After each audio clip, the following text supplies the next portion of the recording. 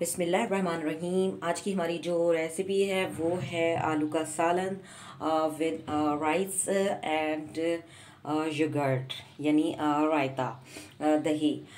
तो हम बनाना स्टार्ट करते हैं। आप देख सकते हैं कितना ज़बरदस्त हमारा सालन जो है वो तैयार हुआ है रायते के साथ और साथ में सादा चावल। बहुत ही ज़बरदस्त सी ये रेसिपी होती है। खाने में बहुत ही टेस्टी लगता है। एक अलग सा लुत्फ़ होता है। खाने में बहुत ही जो है मज़ा आता है। तो बनाना स्टार्ट करते हैं। चलते हैं रेसिपी की तरफ़। I'm going to make, let's begin.